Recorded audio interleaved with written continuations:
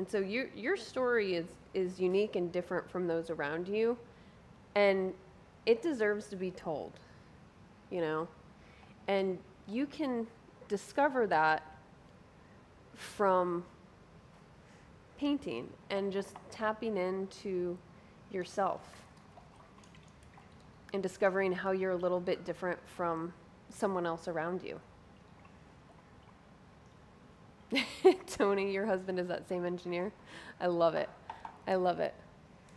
Um, so, you know, you can, and you can, a lot of how you decide to tell the story is how you decide to, what palm fronds you decide to define, what um, texture you decide to have, what um, this is this is how you develop as an artist and how you tell your story. And you know, like I 100% started off as this artist. You know, that's this was a good solid I've only recently evolved into being able to do this. You know, it's it's well, I mean, y'all saw that still life that I had from 10 years ago. Um, I wasn't even really, you know, I, I was a beginner beginner. And then you get a little bit more comfortable and you start being able to like push things and experiment and you get you realize that there is no such thing as failure. There's just learning. And as soon as you can realize that there's no such thing as failure, that's when you really unleash this powerful force within yourself. Um, because then you realize the world is your oyster and you can have a pink and blue palm tree and it's okay and it's beautiful and it reflects who you are and it reflects your joy and your creativity. So, you know, that's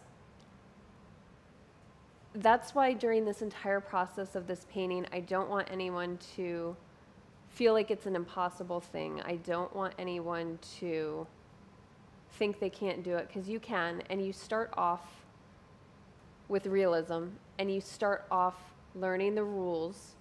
And as you learn the rules more, you learn where it, you're comfortable and where you can push the rules and where you can start breaking the rules. And then you start just sprinting and you start just running. And this entire evolution is a really beautiful process. And whether you are a beginner and you've never picked up a brush before, you will progress. If you focus on the journey, um, you will progress.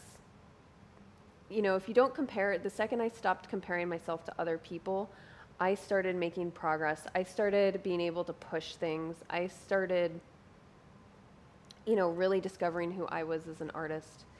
And um, so don't compare yourself to others. You know, we are all on a different journey at a different pace. And uh, your journey is your journey. You're never behind, is something I like to say. Um, thank you, Betsy. Yeah, it's, it's, a, it's a splashy, sunny vibe. It's uh, part of my journey was we were in North Carolina and I was trying to show my work in North Carolina and I kept having people ask me if I was from Florida because I had a lot of color in my work. And so we eventually wound up moving to Florida, and it's been a really good fit for me. So that was part of me discovering my journey. Um, you know, we're, we're all just in this universe trying to figure it out, and we're all human. And so this is where we can use our story and discover our humanity.